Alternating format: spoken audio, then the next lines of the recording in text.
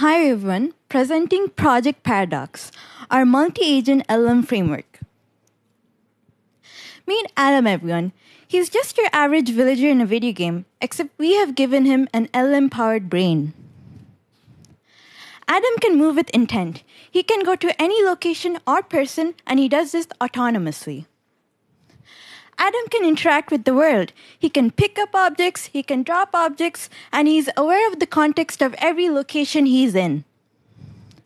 Adam can react to events, places, objects, and people, and he does this on the fly according to his own personality. Adam can start conversations with you or other agents as well. Now, it's not just Adam who's capable of doing this.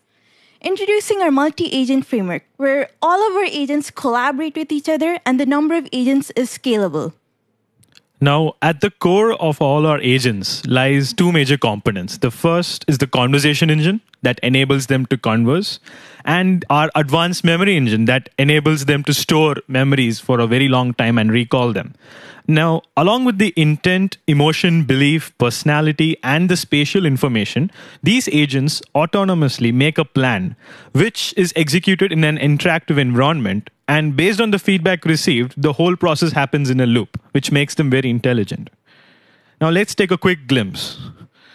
So, in this example, we'll ask one of our agents, Blossom, out on a picnic. We'll ask her to bring some food with her as well. Ah, of course, player. I'd be happy to deliver it to the fountain for you. It's one of my favorite spots, too. So you'll see she picks up the pastry right here and she'll take it to the picnic area. She plans the sequence of actions on the fly and she'll always respond within context as well if you try to talk to her in between. It's always a pleasure to share the joy of fresh treats with you at my favorite spot by the fountain. Now, Project Paradox is not just a multi agent framework, it also provides you the tools to craft the story. Starting with a dynamic story trigger system, you can create a story event which influences the environment, the whole game. So now let's say we have created a story event that a choir is happening at the church. We see the agents react accordingly to it. Ah, choir practice. I love singing, don't you? And besides, it's always nice to clear my head after a long day. Now let's create a realistic one. There's a sale of apples at the market. And let's see how our agents, the game, reacts to the story event we have dynamically created. I came to the market to grab some deals on those apples I've been eyeing. Heard there's a sale going on. So, not just events, you can just create a whole game on the fly with just prompts. We have created a murder mystery where Jacob is just killed. I'm just here to pay my respects. It's been a while since I've visited Jacob's grave. You can see the I agents couldn't help but discussing with one another too, because It's always somber when we come to this place. Now next we created a cozy game on the fly very easily. Surprised to see you here, Charles. I was just thinking about our conversation on the apple prices yesterday. Did you end up buying some? Yeah, agents recall past events as well, so the story always stays consistent. Prices are still too high for me. So now why should you choose Project Paradox? It is built to support any large language model from open source to closed source. We built our own custom API so you can integrate it into any platform, including VR, as you see we've done right here. and Project Paradox can be deployed either locally or on any cloud platform. Now, looking at the future for Project Paradox, we were able to build the core framework in just eight weeks. And looking forward, we want to explore how our agentic AI can be appl- applied across domains.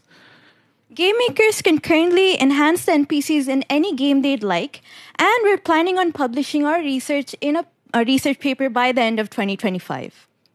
Thank you. Yeah, thank you. Right now, we actually started by uh, making a social deduction game like uh, Blood on the Clock Tower. We realized we had to like rework a lot of stuff, so we started to make everything generic, where all you have to do is edit by prompts. Then we realized we have almost created a multi-agent framework. So our goal, uh, coming from the perspective as developers, is for the developers first. So all these tools right here. So let's say you want the agents to collaboratively vote. You can use our voting protocol, and you can have a game where there's voting involved. So our primary aim is for the developers. Certain benchmarks, like our agents can store like 1 million memories. So we want to stress test it more and more interactions and see how we can apply it in fields like marketing, like, or in a political scenario, like have two people compete and see how the agents are influenced. So those would be, and agentic AI is the current trend right now which is of hot research. So we definitely feel like our framework has a lot of applications in the research domain, like for a lot of uh, like domains as well, like marketing, social computing, etc.